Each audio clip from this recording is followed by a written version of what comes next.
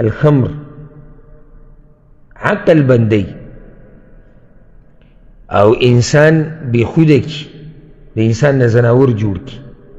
او یو حدیث کې راځي چې هر نشه ورکوونکی شی شراب دی معنی دا چې یو شی دی هر شی چې نشه ورکوي که نه نو دا حرام دي بیا به ته دا تپوس مه کوه چې دا پلانې شي او پلانې شي او پلانې شي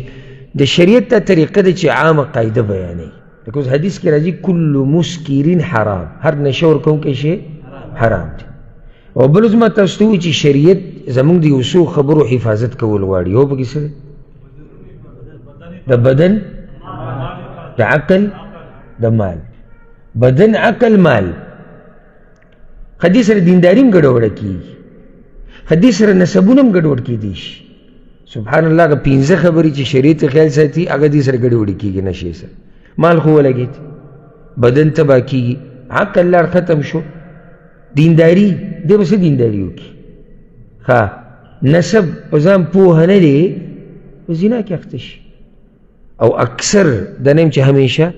اکثر دا چې زیناکاری ولیاذ بالله د نشیز وي خټیټ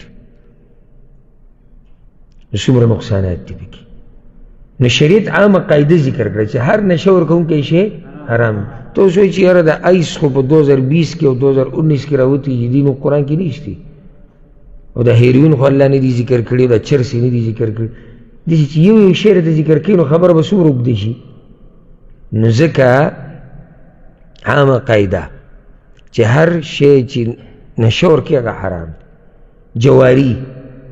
چې یو طرف په پکې بیلی یو طرف په پکې تاوانی کیږي دا جواری بیا په ډیرو طریقو سره کیدی شي او په هر زمانه کې یا په هر علاقه کې د دې ځان له شکلی دو کسان پیسې ولګي